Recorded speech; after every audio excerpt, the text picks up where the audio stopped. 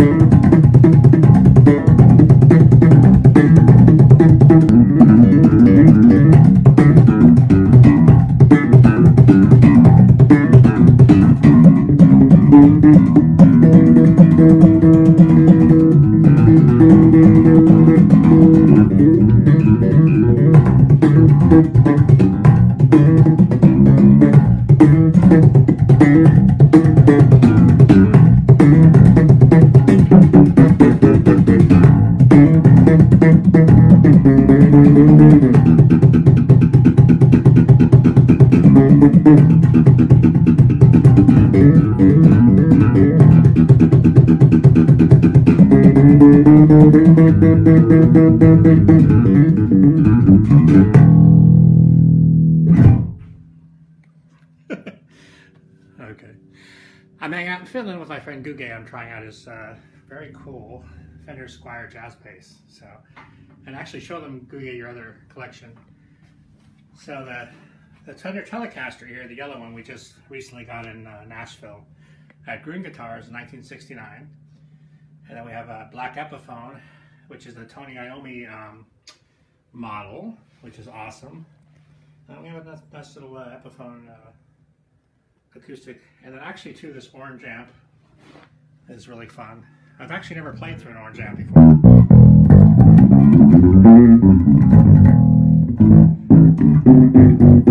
So yeah, it's fun. We're just having fun in, uh, Helsinki hanging out. So, ciao, peace.